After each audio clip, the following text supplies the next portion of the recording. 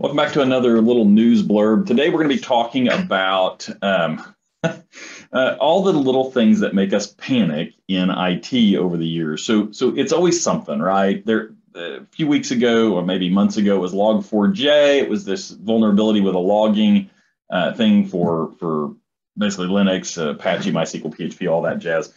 And today, well, you go back a little farther, there was another one. It was Print Nightmare. Everyone's going to lose all their networks over this Print Nightmare.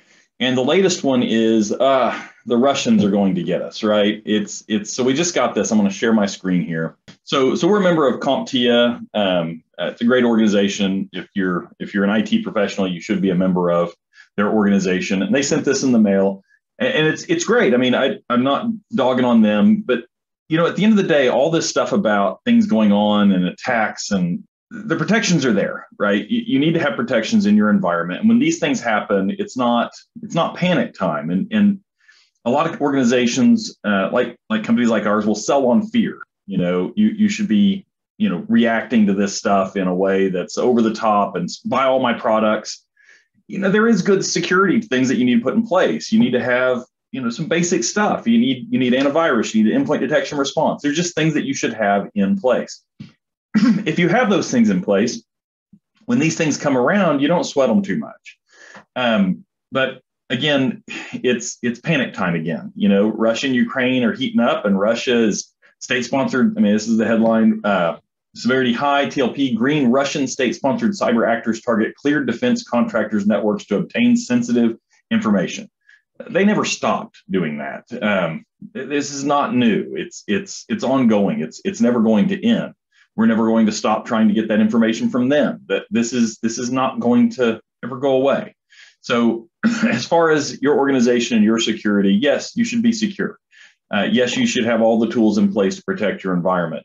Should you let the news constantly keep you on on edge about your infrastructure? No you know if you've got uh, your own team in house and they're watching the news and they're seeing what's going on and you're spending the right amount of money on your security and when i say the right amount of money one of the things of having been in this industry as long as i have is you you learn real quick that there's a right amount to spend on technology and if you're not spending that amount you're probably not getting enough security. There's no secret sauce to security.